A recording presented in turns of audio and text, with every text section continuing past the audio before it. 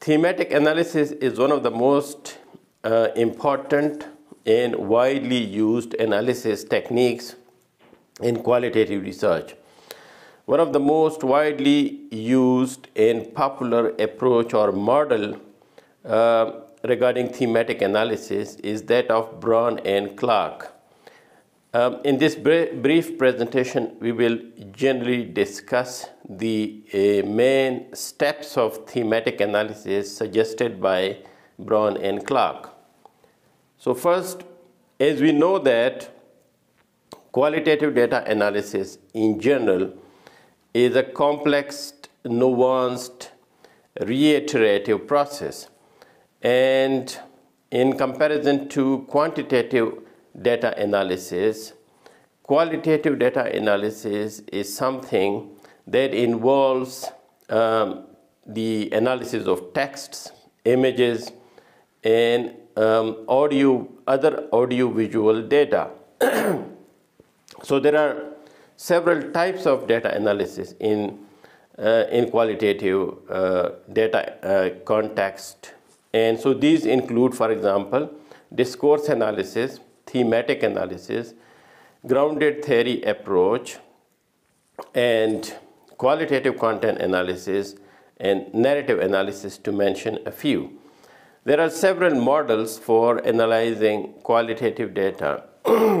and so these, for example, include the grounded theory approach uh, that was uh, developed by Grace, Glaser and Strauss and later on Strauss and Corbin discourse analysis, thematic analysis, uh, such as the ones uh, suggested by Miles and Huberman and Braun and Clarke, and content analysis are some of the main uh, qualitative data analysis techniques.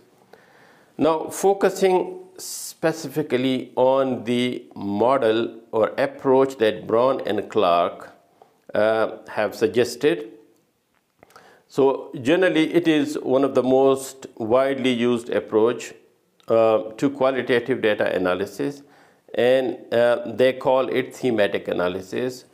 So uh, before we discuss the main uh, steps of thematic analysis, first, what is a theme? A theme generally in qualitative data analysis context is a significant recurring pattern or meaning or concept in a data set. Generally, the process of thematic analysis suggested by, by Braun and Clarke has these six steps.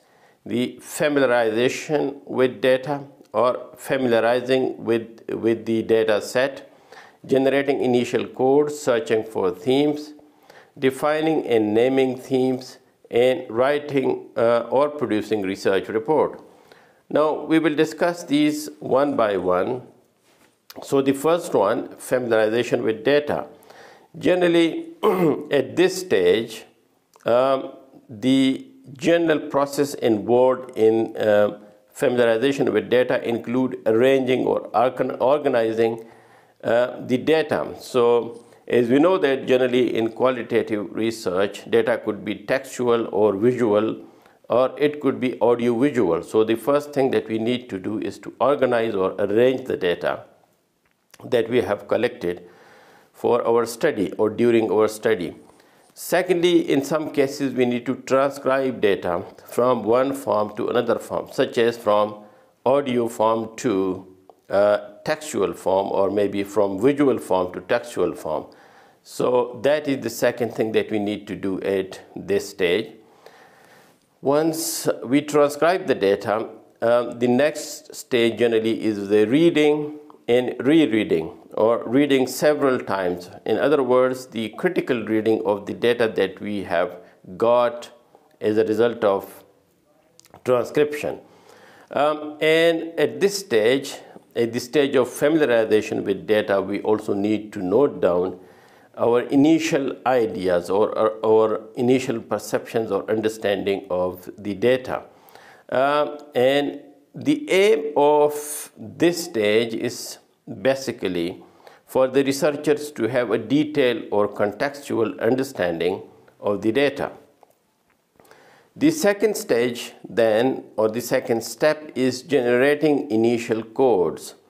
So uh, basically, a code is the process of identifying, labeling, or naming, um, or coding relevant, interesting features in the data or relevant, interesting chunks of data or instances of data.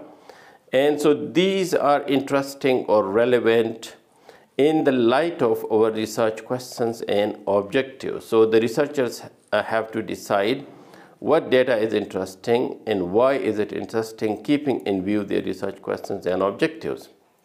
And so they code uh, their data in line with, uh, with their selection.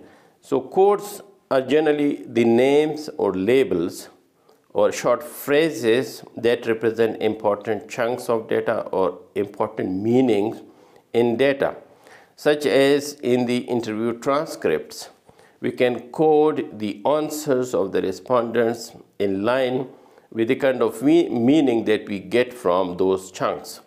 So what is the aim of the second stage? The aim of the second stage is to identify interesting, useful, and relevant data or information that we think is useful in terms of, of responding to our research questions or achieving our research objectives.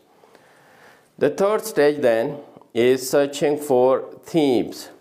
So as we know that a theme is a recurring uh, pattern or, or, or, meaning in data. So at this stage, at, at the third stage, we are in search of themes keeping in view the, the, the, the second stage or the codes that we have done. Um, and so as a result, at this stage, what happens is that there is a process of collating or combining of the related codes to identify patterns or themes in data. At this stage, what happens is that, that there is a sort of sorting, organizing codes into themes or into bigger meanings um, and to sub-themes or associated meanings related to bigger meanings. The aim uh, at this stage, uh, that is searching for themes or bigger meanings, is to analyze and interpret our codes uh, across the whole data set into main themes or sub-themes. So that's the, the, the, the next stage, uh, searching for themes. Uh, and it is one of the most important steps in the thematic analysis process. The next stage that, um, the, or the next step that we need to take uh, during this uh, uh, thematic analysis is reviewing of themes. So at this stage, what happens is that we have already identified themes and in some cases sub-themes. Um, and at this stage, we need to critically review those themes for accuracy and authenticity and for representation of the primary data. So for example, if we have um, identified certain themes. Uh, for example, uh, if we take a, an example from the education field, if we are in search of, for example, the causes of students' failure in, in mathematics. So, for example, we have, uh, uh, uh we have collected data through interviews with maths teachers. And for example, one of the themes that comes out of it is that uh, mathematics is a kind of theoretical subject because of which students find it difficult to understand its, its concepts. And so that could be like the, th the theoretical nature of math, for example, is like one of the themes that, um, that is uh, suggested, that our data suggests as one of the causes of failures of, of, of, of the students.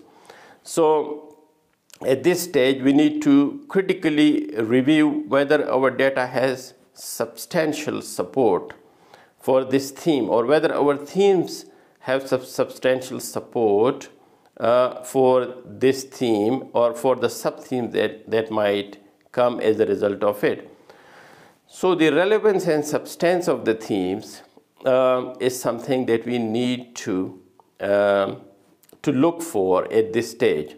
The aim of this stage, that is reviewing of the themes, is to, uh, to um, authenticate the process of thematic analysis and it, its outcome so that we are sure that thematic analysis has been done accurately and the outcomes are solid.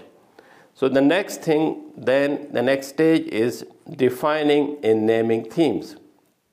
At this stage, uh, we are now consolidating our theme. So again, what happens is that at this stage, we need to have an overall review and refinement, um, and that actually should lead to clear demarcation and naming of themes. This is done through, for example, ongoing analysis of the themes for specification so that the themes are, are solid, they have sound back, backing from the data, and so that themes are distinct, um, they are not uh, overrepresented or underrepresented. There, there is clear demarcation between various themes, and so each theme represents a distinct finding um, and a solid finding from our data. And so also that the relevance of the primary data or, or quotes that we have associated to certain themes um, uh, is also important to locate at this stage. So what is the aim of this uh, uh, fifth important stage is that we need to ensure the demarcation, the clear boundaries, the precision of themes across data. And so we move on to the last stage, which is the production of the report or write-up. So at this stage, now we have done most of the data analysis uh, uh, processes. And so now we need to produce uh, um, a report in the light of our analysis. Generally, this stage is the stage where we need to put it all together. We need to critically analyze the overall themes and we need to um, kind of have a holistic, to develop a holistic narrative involving the presentation and description, the analysis and synthesis of our findings and of our themes in the light or with reference to its background or relevant literature. So we can say that we are writing what we have found, but we are also critically analyzing what we have found, and we are referring to other studies um, or to the findings of other researchers relevant to our study in order to substantiate or to critically analyze and also to conclude at this stage. That will ultimately result in the form of a report which, which could be a research thesis or a research paper. So the aim of the sixth or last stage of the thematic analysis is to produce a holistic, scholarly, objective, and critical report at the end of the research process. So that's uh, the general process of thematic analysis suggested by Braun and Clarke. Uh, and so they have done this in the context of thematic analysis in uh, psychology.